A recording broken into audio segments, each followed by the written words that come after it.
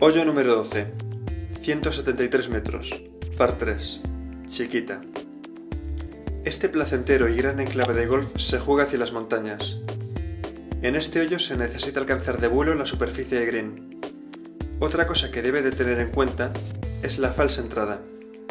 El bunker que se puede apreciar desde el tee esconde otro más cercano al green. Confía en la distancia. De nuevo, los contornos alrededor de green devolverán al mismo los golpes ligeramente desviados. El green es bastante estrecho, pero plano.